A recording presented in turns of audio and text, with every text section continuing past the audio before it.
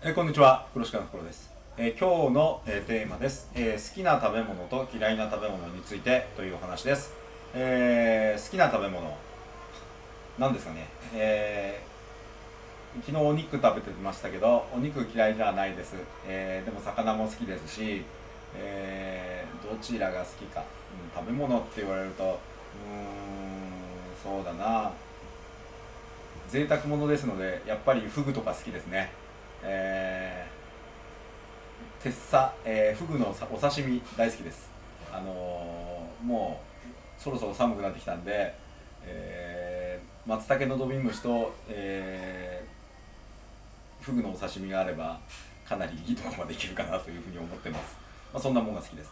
嫌いな食べ物、えー嫌いな食べ物って言われるとまずいもの、え